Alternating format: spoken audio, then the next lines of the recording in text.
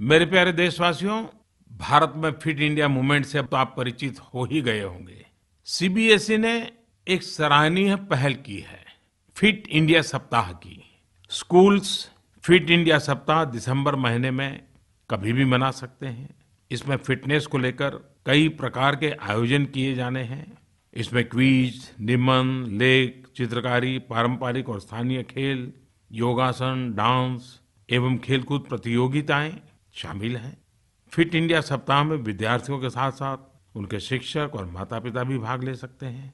लेकिन ये मत भूलना कि फिट इंडिया मतलब सिर्फ़ दिमागी कसरत, कागज़ी कसरत, या लैपटॉप या कंप्यूटर पर या मोबाइल फ़ोन पर। फिटनेस की ऐप देखते रहना, जी नहीं, पसीना बहाना है, खाने की आदतें बदलनी है, अधिकतम फोकस एक्टिविटी करने की आदत बनानी है। मैं देश के सभी राज्यों के स्कूल बोर्ड एवं स्कूल प्रबंधन से अपील करता हूँ कि हर स्कूल में दिसंबर महीने में फिट इंडिया सप्ताह मनाया जाए। इससे फिटनेस की आदत हम सभी की दिनचर्या में शामिल होगी।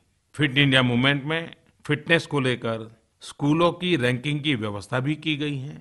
इस रैंकिंग को हासिल करने वाले सभी स्कूल फिट इंडिया लोगो और फ्लैग का इस्तेमाल भी कर पाएँगे। फिट इंडिया पोर्टल पर जाकर स्कूल स्वयं को फिट घोषित कर सकते हैं।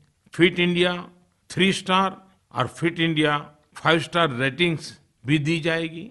मैं अनुरोध करता हूँ कि सभी स्कूल फिट इंडिया रैंकिंग में शामिल हो और फिट इंडिया ये सहज स्वभाव बने एक जन आंदोलन बने, जागरूकता आए, इसके लिए प्रयास करना चाहिए।